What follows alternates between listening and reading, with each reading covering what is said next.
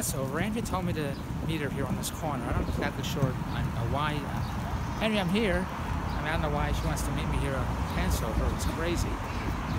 But I'm here. well, my friends, you go to davestvworld.bell.net.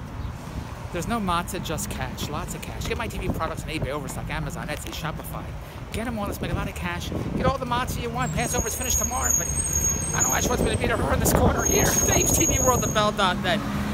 No matzah, just cash. Andrea, what, what, what? What